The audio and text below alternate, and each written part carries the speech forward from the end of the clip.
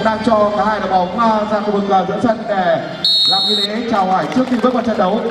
Vâng và Tài Xuân và số 7 là lưu tân. Vâng như vậy trận đấu của chúng ta cũng đã chính thức bắt đầu. Bóng đang lăn ở khu vực sân nhà của các cầu thủ doanh nhân thị trấn lâm. Vâng, chắc chắn sẽ gặp phải một đối thủ đáng gặp công việt không được rồi xin luôn Susa, đó là gol đầu tiên. Những bóng đã chạm vào tay của lưu bá tân trong tình huống sút xa trước đó của đỗ minh luân chứng kiến lễ ra mắt rất hoành tráng ở trong buổi chiều ngày hôm nay. Lễ ra mắt hoành tráng và không kém gì lễ ra mắt của những trận bóng đá danh nhân.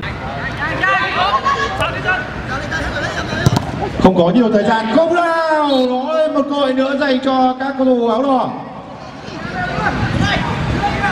Đó là ông Dương Công Minh là một trong những người rất tâm huyết. Coi bóng đã tìm tới cột tặng vào trong tình huống rất điểm vừa rồi. Của chân xuất vàng áo số 7 Quốc Việt. Quốc Việt và Lưu Văn Tân là một ừ, trong những bộ đội sát thủ, sát bàn ở trên mặt sân rất là lợi. Thế nhưng điều quan trọng ở trong trận đấu chính là những bàn thắng thì các cầu thủ doanh nhân Thiên Lâm vẫn chưa thể nào làm được. Ừ, chưa công thành rất điểm của vào ít phút trước đó là cú dứt điểm vào cột dọc của số 7 Quốc Việt. Và vừa rồi là một tình huống dứt điểm của Lưu văn Tân các cầu thủ của đội bóng doanh nhân Thiên Lâm vẫn đang liên tục tạo sức đẹp có lẽ đó sẽ là một cú đá phạt dành cho các cầu thủ của câu lạc bộ áo dương tỉnh nam định. Một thẻ vàng dành cho thủ môn bá luận. Trong tiếng rồi thì có vẻ anh cũng đã có dấu hiệu ổ dùng tay. Để cản phá bóng ở bên ngoài vòng cấm địa. Và đây sẽ là một cơ hội cố định.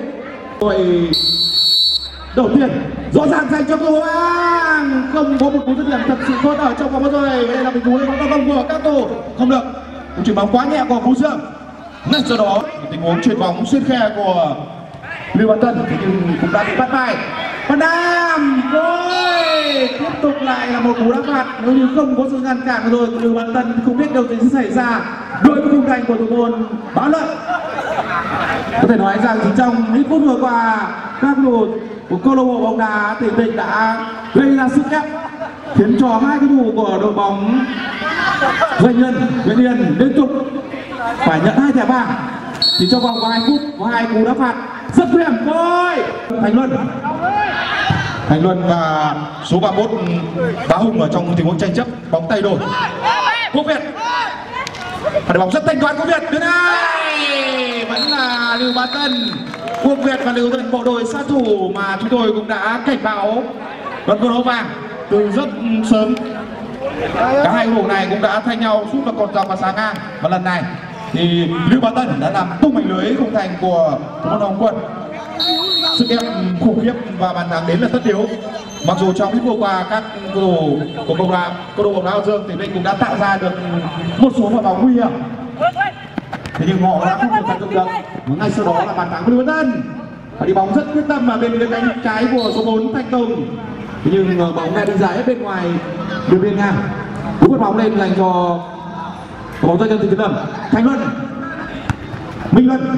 Đó là một pha đá bóng rất của tống xá. Cú sút có vào. Và lại là cú sút đến từ chân của lưu bá tân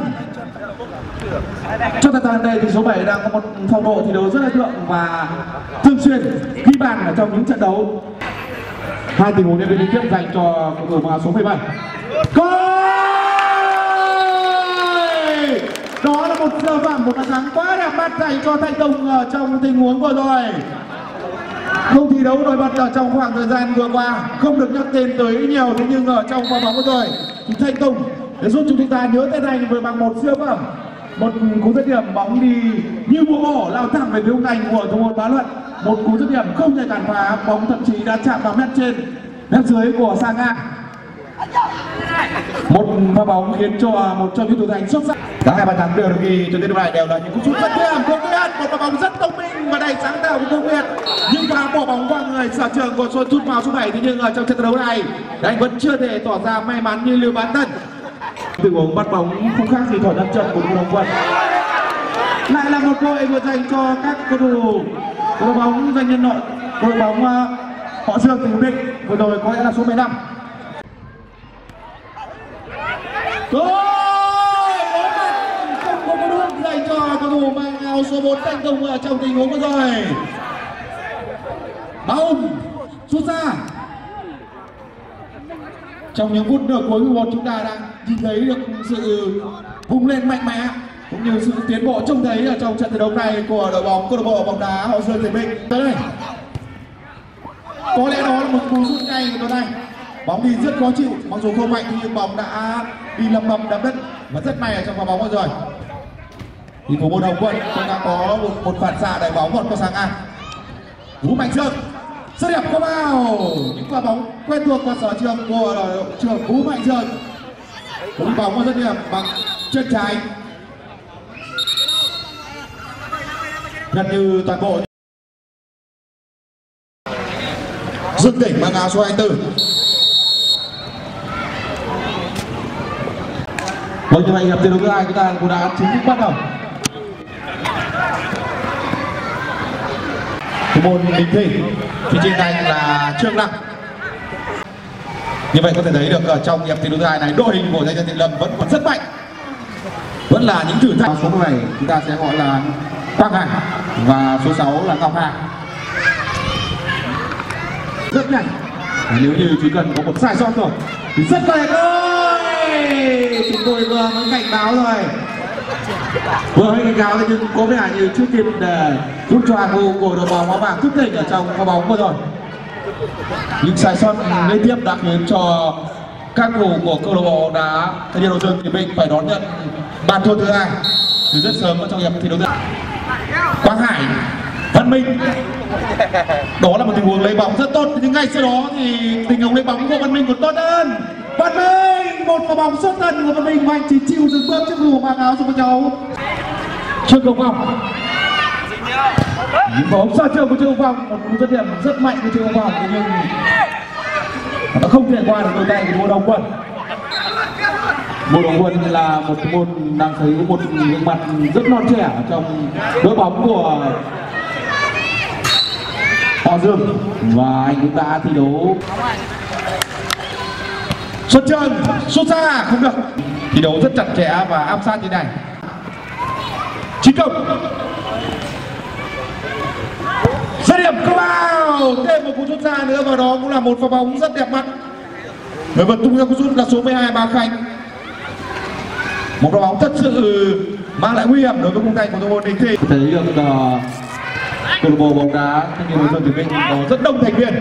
Và đột phá rất tốt không thể rồi rất đáng tiếc ở trong bóng rồi. Thế này không có bàn thắng ở trong tình huống đánh bắt rồi cầu thủ mang áo số 12 tôi nói rằng lực đánh quát mạnh hơn một chút nữa thôi thì chắc chắn của môn đình thi sẽ không kịp quay về. Câu lạc bộ bóng đá sơn Dương Bình với đội bóng à, câu lạc bộ bóng đá mùng 3 tháng 2 tỉnh ủy Nam Định. Rất đông các thành viên. Và lên bóng phạt công của các cầu thủ thanh Lâm chưa có bao không vào rồi. Bác Khánh, người trước đó cũng đã tung ra một cú dứt điểm rất nguy hiểm và mang lại cú đá phạt góc dành cho các thủ thành viên Dương chính cảnh xin thực hiện cú đá phạt góc này không đội bóng có thể chiến lâm trong rất nhiều những thực chất ba đồng tốc độ và rất xuất sắc của ba số hai một chiếc xe đua không thức bom vậy nhưng rất đáng tiếc anh đã bị chặn đứng bởi môn đình thủy. Hết đây hết đây hết đây. Những cầu thủ của câu lạc bộ bóng đá thanh niên nội dương tỉnh Ninh Bình. Gương mặt có thể nói rằng đang chơi nổi bật trong ít phút vừa qua. Bá Khanh. Có lẽ anh cũng chính là một trong những cầu thủ có nói là thấp bé, nhất nhì ở trong đến đây lại là số hai. Đó là những đèn đạp xứng đáng dành cho những nỗ lực, những pha bóng mà cầu thủ mang áo số 12 bác anh đã tạo ra trong ít phút vừa qua. Đúng là một đền đạp xứng đáng mà cầu thủ mang áo số 12 chúng tôi đã liên tục nhắc tới anh ở trong hấp dẫn thì có vẻ như nó vẫn chưa thể bằng với hiệp một tình tình có sự hấp dẫn chúng ta thấy được chơi một là có những chiếc thẻ vàng rút ra luôn có một tinh thần thi đấu rất cao văn tinh